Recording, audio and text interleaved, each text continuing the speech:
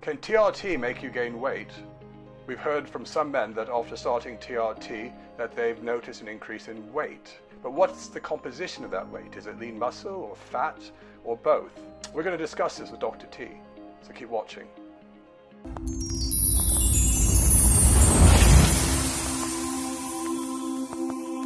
Hi, and welcome to Balance My Hormones, where we support men and women on their journey to optimal hormone balance. If you're new to the channel, please press like and subscribe to get future content.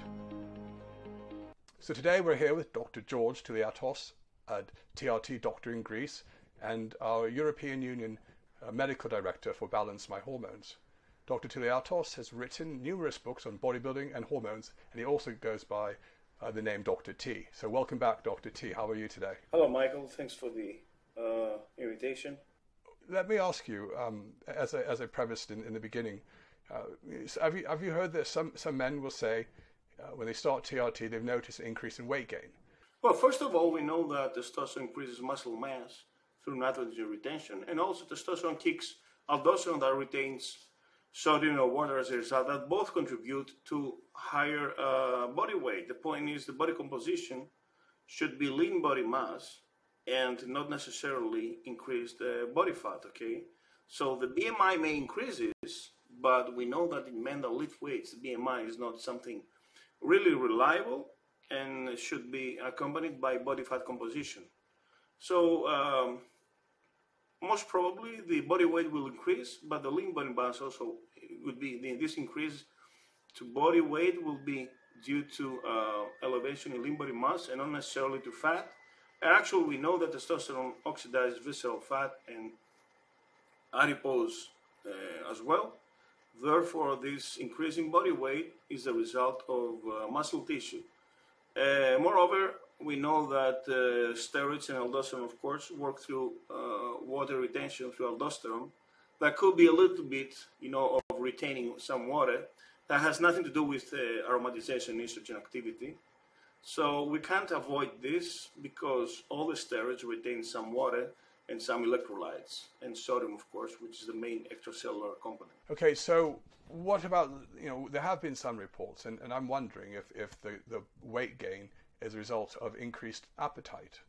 I think, uh, what are your thoughts on the increased appetite from starting TRT? And is it just that the activity level didn't match uh, the uh, the eating habit, or what are your thoughts?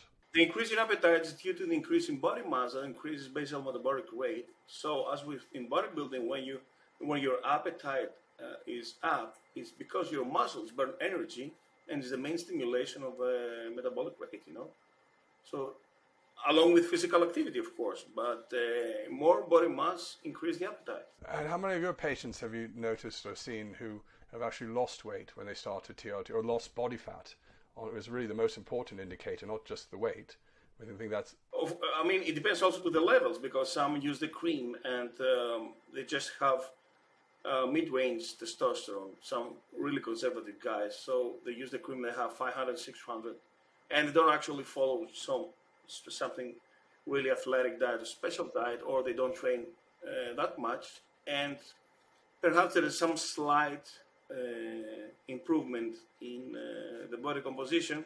But those who are really active and fanatic about the lifestyle, used to be bodybuilders or people who use steroids, for instance, yes, they have seen, of course, a dramatic transition from the hypogonadic to the eugonadic state with leaner uh, stomach, you know, in the midsection, and of course, their physical activity is higher. That's why they burn more calories and they look leaner as well.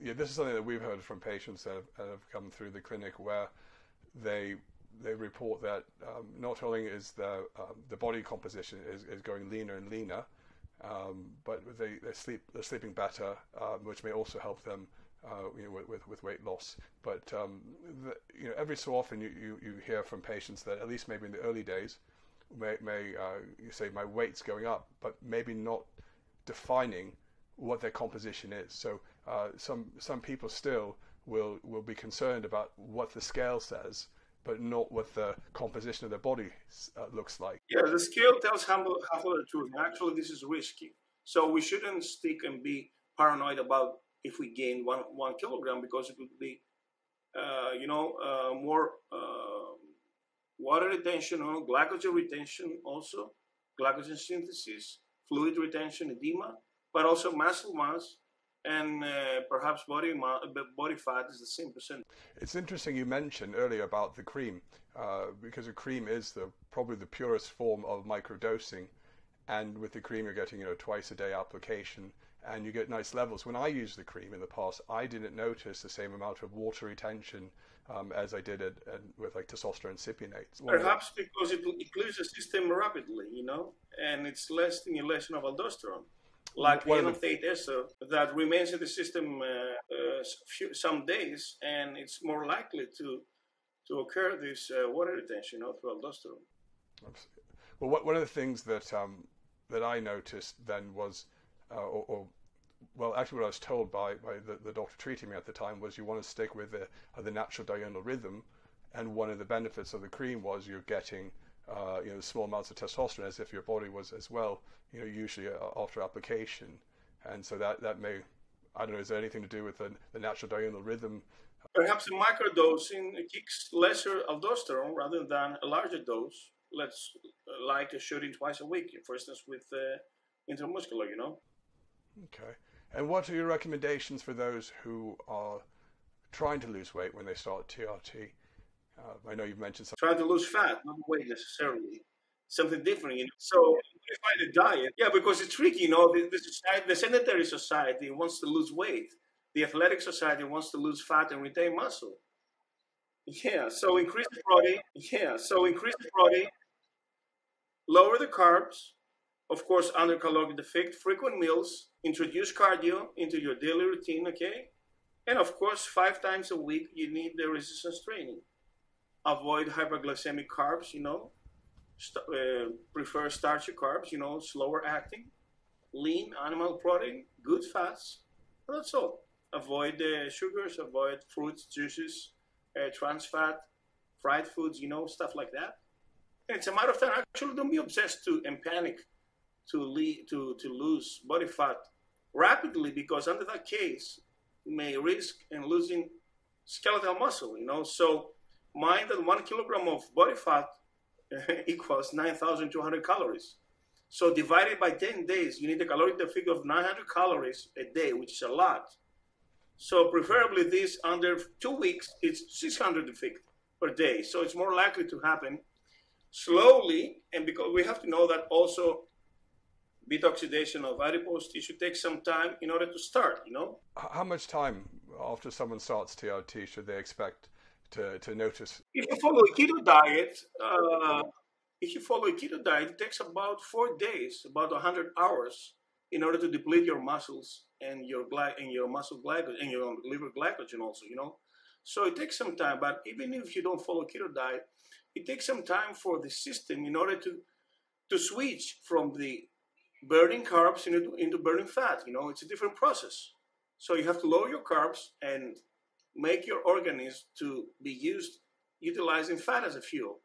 And this takes a little bit of time, but even under the, this condition, you need to high to have high protein in order to preserve your muscle tissue, and mainly look your mirror and your uh, midsection, you know, and not necessarily your body weight, because at the same time you may lose uh, fat tissue by retaining muscle. The scales test the same, but the mirror tells something different, you know. So it's the way you look, necessarily not how you how you um, wait. So one of the um, I, I, guess there's been some controversy around the use of caffeine uh, for fat loss. I mean, I, have heard. Um, I think when we spoke to Dr. Um, Hertoghe, he, uh, he, he mentioned not drinking so much coffee. Uh, he confused he confused us because he said that actually caffeine increases insulin resistance.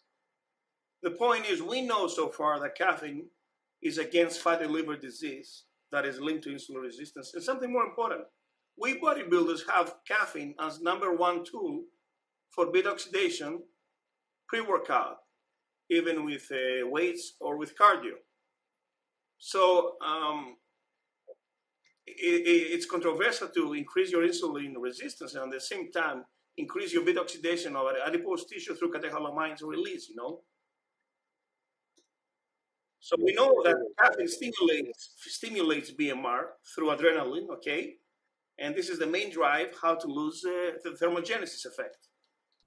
Fair enough. And what about the timing of caffeine? I know that there are some studies that have come out about uh, not having a coffee first thing in the morning before breakfast, but rather maybe in the in the afternoon. Is that something that you've?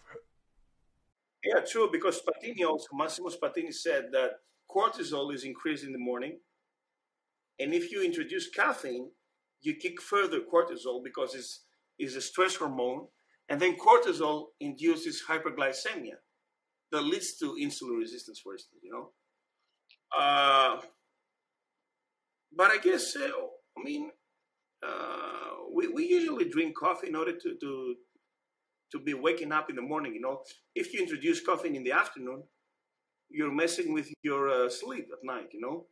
Yeah, that's true. I, I noticed the one day I, I introduced it about seven at night and I couldn't sleep.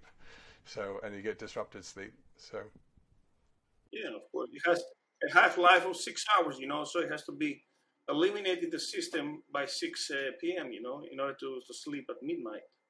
Okay, so I guess the, the, the message here is, though, getting back to the testosterone treatment, uh, that it can have a positive impact on your body composition and particularly fat loss, but not to don't be uh, obsessed or worried if your weight goes up on TRT, um, even initially, as it may be due to things like water retention, uh, maybe due to the increase in lean muscle mass, and give it time. That's another story. You can lower your carbs, you can lower your salt intake, and look lean. You know. But doesn't mean if you are puffy. Doesn't mean if you are puffy that this is fat. This is just edema, water retention, fluid retention. You know, that clears this, uh, that that leaves you under two days of uh, low carbs. You know. Okay, and, and I've always thought like some of my issues around in the past around this puffy face, uh, even though I was lean elsewhere, may have been due to a kind of a myxedema from a hypothyroid disease. So I think. Uh, yeah, okay. Of course, myxedema is something extreme, but also GH leads to fluid retention if you introduce GH as well. And also, Hertoghe believes that if you use antidiuretic hormone or vasopressin, ADH, or vasopressin, you may filler up all your wrinkles, you know, and it's a good filler in order to, to smooth your wrinkles. It's like a natural botox, you know. Yes, it fills up the tissues. No, you take it by pill, you know, and uh, it retains water. You don't go to pee, for instance, and this water is filling up the tissues, you know, and you have less uh, less of a wrinkle, you know. That's why when you dehydrate, you have more wrinkles. Yes. So, like some bodybuilders before a contest may look a bit older than they really are due to the. Yeah, absolutely. Five years uh, older. Yeah, yeah. It's the diet, also. You know, the dehydration. They look horrible. Anything else you want to talk about on this topic? Well, I think it's, it's something really easy, but it's kind of misunderstood. You know. And actually, most since most of the TRT patients come from uh, abusing steroids or I mean they're fanatics with it. They don't care about what the scale says. They, they just look about the way they uh, how they look in the mirror, you know. They, they just look the stomach, you know, the. Patients, there's quite a mix of of patients from all walks of life. You know, from usually the middle aged. I mean, obviously there are. Uh, it's becoming more and more popular, obviously, to go exercise in the gym. You know, now that the gyms are reopening, um, to to look fit, to look well. And so uh, not everyone is going to a bodybuilding contest or a fitness contest. So um, not necessarily bodybuilding contest, but all of them they lift.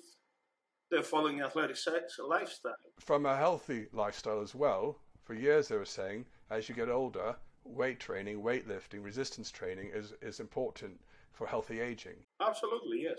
Yes, it's, it's part of the of the aging regimen, you know. All right, so there we have it, Dr. George uh, Touliatos uh, helping us discuss and dissect uh, the issues around does TRT increase weight, and as we just discussed, uh, it's not the weight that's important; it's the composition, less body fat, more lean muscle mass, and avoiding fluid retention, water retention. So if you like today's uh, topic, uh, please you know, press like. If you don't like it, let us know in the comments. Also, let us know that if you have experienced uh, weight gain or weight loss whilst you're on TRT, and we'll talk to you uh, next time.